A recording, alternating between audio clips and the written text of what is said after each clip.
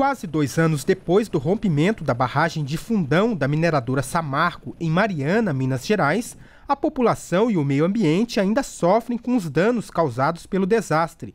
Este seminário em Brasília apresenta o que já foi feito nos 42 programas previstos em um termo de transação e ajustamento de conduta firmado no ano passado entre o governo federal, os estados de Minas Gerais e Espírito Santo e as empresas Samarco, Vale e BHP. No Comitê Interfederativo, ele é coordenado pelo IBAMA e ele tem é, é, coordenado todas as ações no que diz respeito é, à recuperação da bacia é, na parte ambiental e também no que diz respeito aos cuidados com as populações atingidas. O acordo coordenado pelo Comitê Interfederativo prevê investimento de mais de 20 bilhões de reais em 15 anos.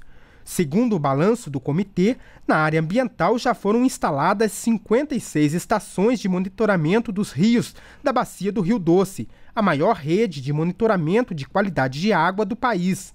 Das 5 mil nascentes da região, 511 já foram protegidas. Já na parte social, 15 mil famílias estão com os cadastros validados para receber indenizações e 8 mil já receberam o cartão de auxílio financeiro emergencial. Além da responsabilização por recuperar os danos sociais e ambientais, a Samarco recebeu 24 multas do Ibama que chegam a 350 milhões de reais. As três primeiras valor de 150 milhões de reais já foram confirmadas e a empresa não tem como recorrer na esfera administrativa. Maior desastre ambiental do país, o rompimento da barragem de Fundão, ocorrida em novembro de 2015, lançou cerca de 40 milhões de metros cúbicos de rejeitos no meio ambiente, causou a morte de 19 pessoas e atingiu 663 quilômetros de rios, devastando comunidades e áreas de preservação permanente.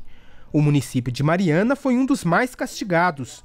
Um dos desafios é retomar a economia da região. A gente também, por outro lado, sabe a importância da empresa na cidade de Mariana, no PIB do estado de Minas Gerais, no PIB do Espírito Santo. O não retorno da empresa é também uma penalização para toda a população.